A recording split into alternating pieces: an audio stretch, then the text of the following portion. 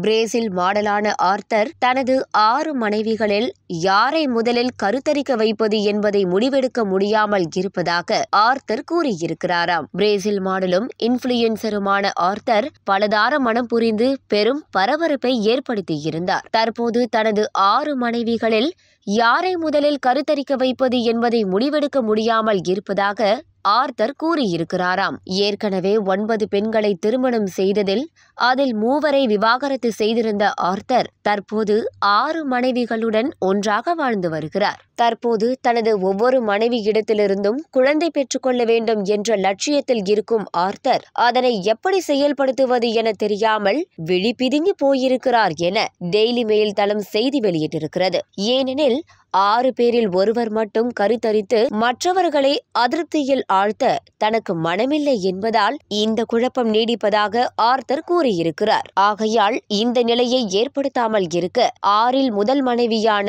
லூவனாவின் கருமுட்டையை வைத்து வாடகத்தாய் முறையில் குழந்தை பெற்றெடுக்கும் முயற்சியில் இறங்கப் போவதாக தெரிவித்திருக்கிறார் ஆர்த்தர் இப்படி செய்வதால் ஆறு பேரில் எவருக்கும் எந்த மனக்கசப்பும் ஏற்பட்டு விடாது என்பதால் இந்த முடிவை ஆர்த்தர் கையில் எடுத்திருக்கிறார். இது போக முன்னாள் மனைவியுடனான பந்தத்தில் ஆர்த்தருக்கு ஏற்கனவே மகள் இருப்பதால் அடுத்ததாக பிறக்கப் போகும் குழந்தை ஆணாக இருக்க வேண்டும் என்ற தனது விருப்பத்தையும் வெளிப்படுத்தியிருக்கிறார் இந்த வாடகத்தாய் மூலம் குழந்தை பெற்றெடுக்கும் முறைக்காக நாற்பதாயிரத்தி எழுநூற்று தொண்ணூத்தி எட்டு அமெரிக்க டாலர் அதாவது முப்பத்தி மூன்று லட்சம் வரை செலவிட ஆர்தர் தயாராக இருப்பதாகவும் எதிர்காலத்தில் குழந்தையை தத்தெடுப்பதற்கான யோசனைக்கு திறந்த மனதாக இருப்பதாகவும் ஆர்தர் கூறியதாக செய்தியில் குறிப்பிடப்பட்டிருக்கிறது.